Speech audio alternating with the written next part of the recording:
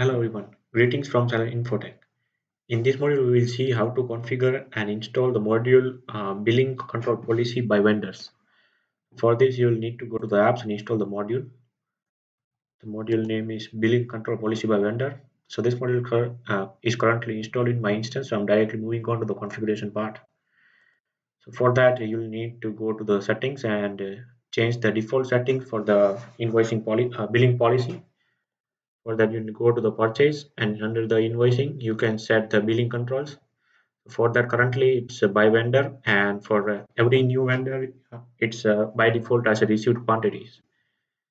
Uh, i have created uh, three products. So the products uh, are product one two and three. For that the product one has the control policy as on order quantities. The product two has on received and the product three has by vendor. So by vendor it will directly uh, take received quantity as by default.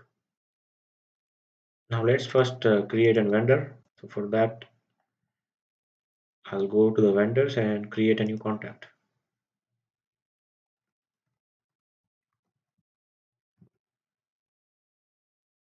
Okay, and for that I'll keep uh, this will be the default received quantity as we have set in the settings. So I'll save it now create an RFQ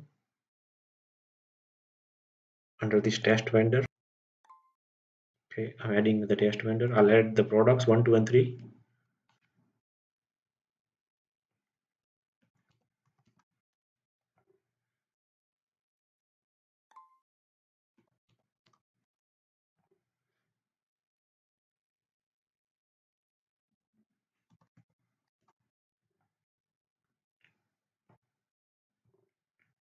Okay the products has been added. Now i'll set the quantity. I'll set uh, this as three.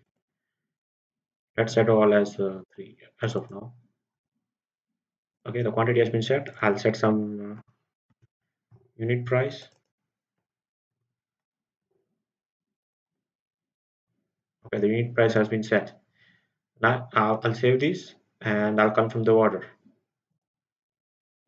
So while confirming I'll, I'll check and create the bill so as the product one is for the ordered quantities, the invoice, the billing should be created of for only the product one.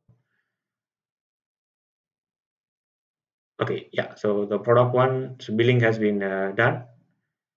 And now let's go to the purchase order and let's validate a receipt.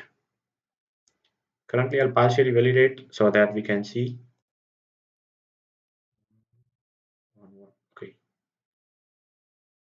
save validate i'll create a order from directly uh, here. And uh, let's uh, check the billing now.